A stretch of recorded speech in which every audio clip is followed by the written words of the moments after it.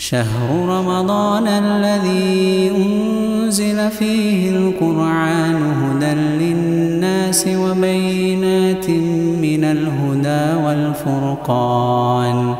فمن شهد منكم الشهر فليسم ومن كان مريضا أو على سفر فعدة من أيام أخر.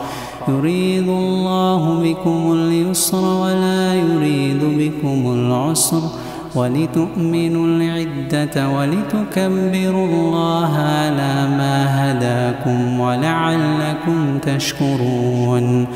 وإذا سعلك عبادي عني فإني قريب عجيب دعوة الداء إذا دعان وإذا سعلك عبادي عني فإني قريب أجيب دعوة الداء إذا دان فليستجيبوا لي وليؤمنوا بي لعلهم يرشدون